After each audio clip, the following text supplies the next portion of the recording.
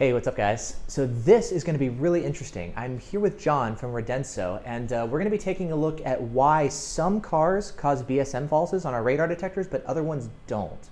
So this is something I've been wanting to see forever. Yeah. So what are we looking at here, and what's going on? So, like you, when we started moving all of our engineering here, I was just curious, just personally myself, of that exact question. You know, we pass these cars on the road all the time, and sometimes we go by the, the dreaded offenders, right? The Mazdas, the Cadillac, and it sets everybody off. But some, like some of the Fords, you drive by and nothing. Yeah. And we know these are all K-bands. So what is the difference? How come sometimes they go off and sometimes they don't? So to answer that question, what we did was we custom built um, actually a very special test set that lets me see in incredible detail what is coming from all these cars and record them. So I thought it would be neat to walk everybody through today two of the most common examples.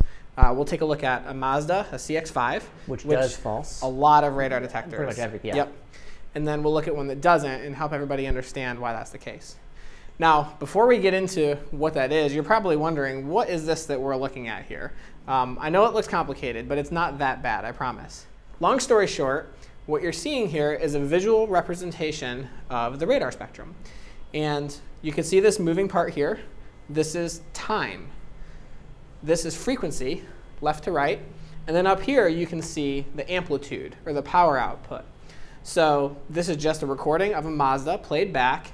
You can see pretty high power, and importantly, it stays at a similar frequency. It almost looks like continuous wave. Mm -hmm. Now, over where Ariel is, we also have overlaid a actual K-band recording. I think that's a, a Decatur gun. Okay. And one thing that I'm sure that you'll notice is just by visually looking at it, these look pretty similar. We've got one frequency here. It's pretty fixed. It's yep. not jumping around and changing. We've got a nice spike over here. Even the power output looks pretty similar. Yeah. I mean, this is a pretty strong blind spot emitter to be comparable to a, a police gun. Mm -hmm. And we even recorded these at the same distance apart. So to answer the question, why does it false alert on a Mazda? It's because it looks really, really similar to a Decatur K-band gun. Makes sense. Now, one thing that I do want to say before we move on to the Ford is um, I want to make sure everybody understands how radar detectors currently look for signals and, and why they make the decision to alert. Radar detectors, all of them nowadays, are not what I would call incredibly smart devices. What they do is they look for energy present within a specific band, so like within K band or X band, and that energy is averaged over time. So here you can see why this alerts because it's a continuous pattern. You don't see any breaks here. This is one solid line going down. At one so it's pretty fixed frequency. Yes, so it's, mm -hmm. it's got the frequency component, it's in K band, your power over time is high because there's no breaks. Which is what this big spike is on top. Exactly. And you've got decent power output. So it, this satisfies all of those criteria for whether or not to alert. So traditional radar detectors that don't have um, the ability to see things like this test equipment can, it's just going to trick them, and they're going to false alert. Makes sense. So we've seen the Mazda, and we know why that alerts. Now let's take a look at the Ford.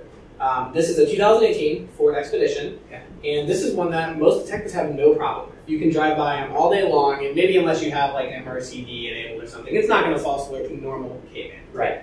Yeah. So looking at this signal, you can see that this looks a lot different than the uh, Mazda does. Um, one note I do want to mention though is you can ignore this signal in the middle here. I know that looks like a police gun, but that's just a byproduct of our test equipment. Okay, so this signal going left to right is what you're looking at. So these kind of horizontal lines. Scrolling, exactly. Okay. Now let's pause it so we can actually take a closer look. Now that it's paused, there are a couple of things to look at. First of all, instead of going up and down, in other words, that continuous frequency, uh, this is modulated in a couple of different ways. You have first time modulation. So you can see a signal, signal, a signal, signal, but in the middle there's nothing. Okay. So it's almost it looks like a ladder right? Yeah. Where you have the rungs of the ladder and then space in between. Um, so that's time. This is not a constant signal. So is it being kind of pulsed? Yes, okay, exactly. So pulse, pulse, pulse, pulse, pulse. Yep. Over time. And okay. the other thing you have is you also have components of frequency modulation. Okay. And this is actually an incredibly powerful radar signal. Um, the amplitude is, is pretty high, but because it's frequency hopping back and forth, It's act, every one of these lines actually represents an excursion all the way to that part of K-band and all the way back down. Oh yeah, it's coming back. It's not one frequency; it's sweeping across. And the key is because it's moving so fast, it's not staying on one frequency long enough to have the power kind of build up and stack up. So to a radar detector, it doesn't even see most of this because it's not dwelling on that one frequency um, long enough to up the average power over time. Okay.